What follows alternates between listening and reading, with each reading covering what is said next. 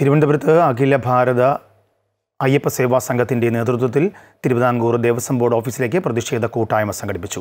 ശബരിമലയിലെയും പമ്പയിലെയും അഖില ഭാരത അയ്യപ്പ സേവാ സംഘത്തിന്റെ camp office കെട്ടിടങ്ങൾ ഒഴിപ്പിക്കുന്നതിനായി Devaswom board നടത്തുന്ന നടപടികൾ അവസാനിപ്പിക്കുക എന്ന ആവശ്യം ഉന്നയിച്ചാണ് പ്രതിഷേധ കൂട്ടായ്മ സംഘടിപ്പിച്ചത്.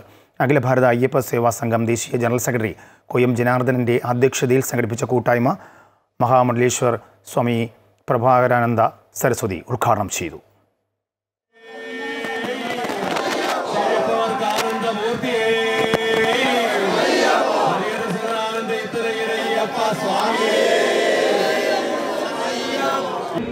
യാതൊരു തരത്തിലുള്ള കാരണങ്ങളും കൂടാതെ നിഷേധിച്ചുകൊണ്ട് തടഞ്ഞുകൊണ്ട് അയ്യപ്പ ഭക്തന്മാർക്ക് കഷ്ടപ്പാടുകൾ ഉണ്ടാക്കുന്നവർ ആരാണെങ്കിലും അപലപനീയമാണ് ആപത്താണ് അപമാനമാണ്.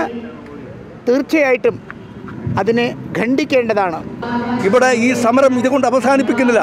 ഞങ്ങൾ ജില്ലാ ആസ്ഥാനങ്ങളിൽ യൂണിയന്റെ ആസ്ഥാനങ്ങളിലൊക്കെ ഈ സമരങ്ങളുമായി മുന്നോട്ട് പോകും. ഞങ്ങൾ ഇറക്കാൻ വേണ്ടി ദേവസ്വം ബോർഡിൽ മിനിഞ്ഞാന്ന് പോരെ മിനിഞ്ഞാന്ന് വരെ ദേവസ്വം ബോർഡ് പ്രസിഡന്റ് അവിടുത്തെ അഡ്വക്കേറ്റിനെ കണ്ട് ഞങ്ങളെ എത്രയോ പെട്ടെന്ന് ഇറക്കണമെന്ന് പറഞ്ഞ് സമീപിച്ച ആ കാര്യങ്ങൾ പോലും ഞങ്ങൾക്കറിയാം.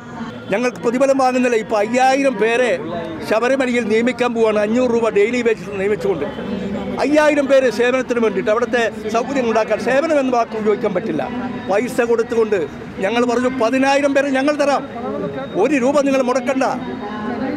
ഞങ്ങൾ സേവനത്തിനായി പതിനായിരം പേരെ തരാം.